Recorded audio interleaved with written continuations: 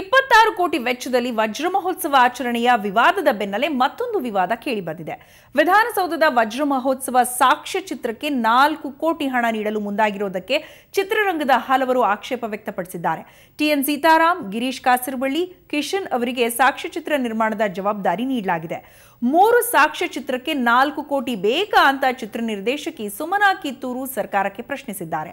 ಆದರೆ ಇದಕ್ಕೆ ಪ್ರತಿಯಾಗಿ ಸಾಮಾಜಿಕ ಜಾಲತಾಣದಲ್ಲಿಯೇ ಉತ್ತರಿಸಿದ ಟಿಎನ್ ಸೀತಾರಾಮ್ ನಾನು ಮಾಡಬೇಕೆಂದಿರುವ ಸಾಕ್ಷ್ಯಚಿತ್ರಗಳು ಒಂದಲ್ಲ, ಏಳು ಸಾಕ್ಷ್ಯಚಿತ್ರಗಳು ಜೊತೆಗೆ ನೂರಾರು ಕಲಾವಿದರು ಶೂಟಿಂಗ್ನಲ್ಲಿ ಭಾಗಿಯಾಗಲಿದ್ದಾರೆ. ಮೂವತ್ತು ದಿನ ಶೂಟಿಂಗ್ ನಡೆಯಲಿದೆ ಅಂತ ಸ್ಪಷ್ಟನೆ ನೀಡಿದ್ದಾರೆ.